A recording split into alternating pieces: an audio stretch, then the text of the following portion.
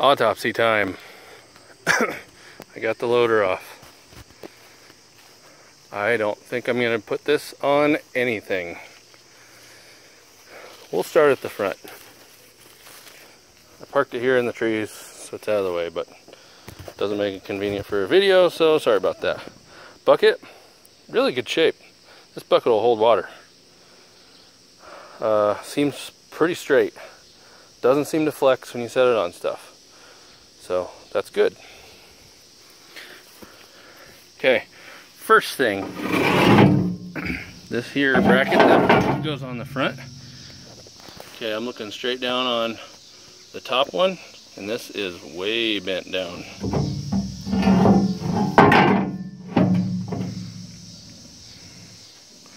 So, bit of a hard life there.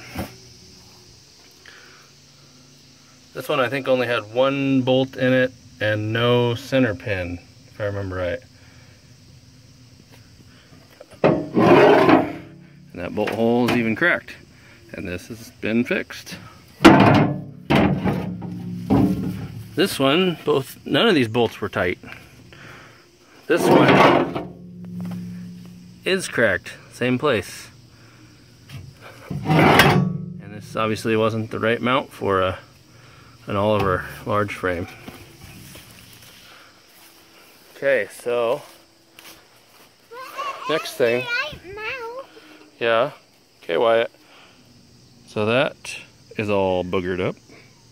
Cracked up here, cracked down there, welds are cracked. Crack, crack, everywhere crack.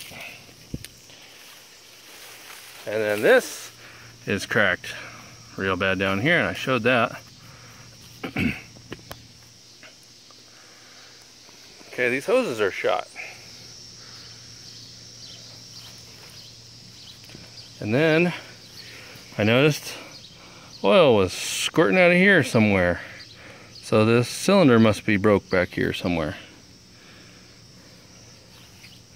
Okay, this has already been fixed right here.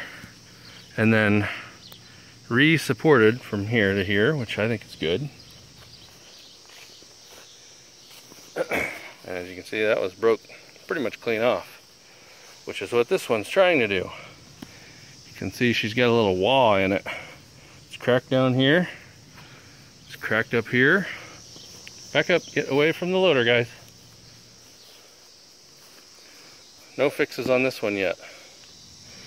But I tried yanking on her to straighten her out. Didn't really want to straighten out very much.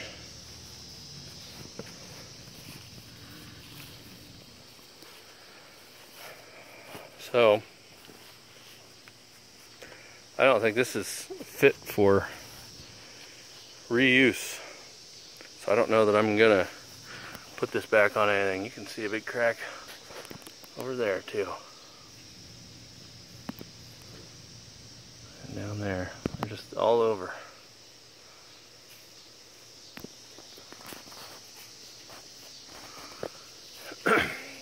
Okay, moving on to the tractor now.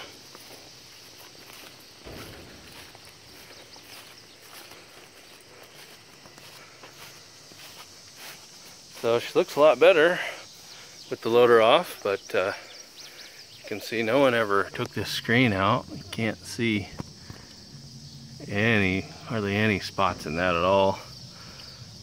You know, you get cylinders that leak, they'll do that. Oh yeah, and also, this was one of the bolts holding the loader on. I don't know how that's ever going to hold anything tight. Okay, remember how I said that uh, most or a lot of 1855s usually throw a rod? Well, this is an engine out of a 1955 because this 1855 threw a rod. And look what I found down here. Oh, looks like this guy threw a rod once too. So now that I've got it cleaned off a little bit, I see this hose is leaking. I have various random leaks back here. You can see this has been brazed, which that's all right, but that might be the source of a leak.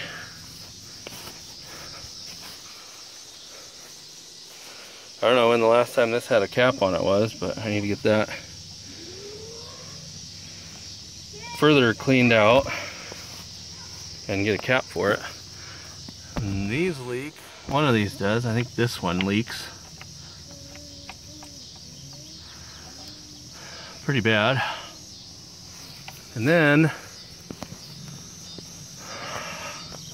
it appears to be leaking from right there in between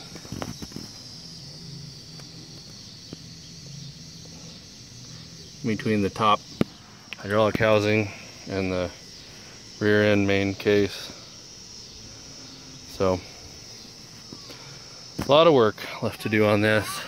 These have been broken, which that's super common. Uh, my 17 was broke and my 1800 was broken. Pretty rare to find them that aren't broken.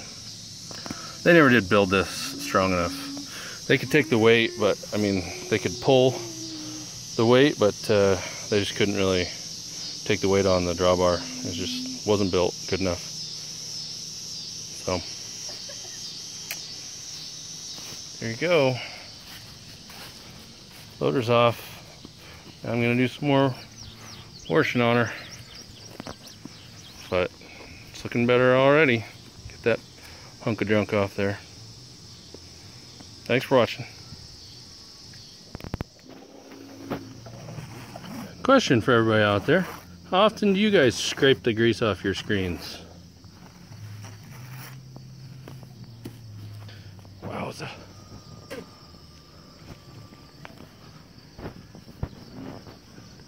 Hey mom, look, I'm trying. Do you even cool, bro?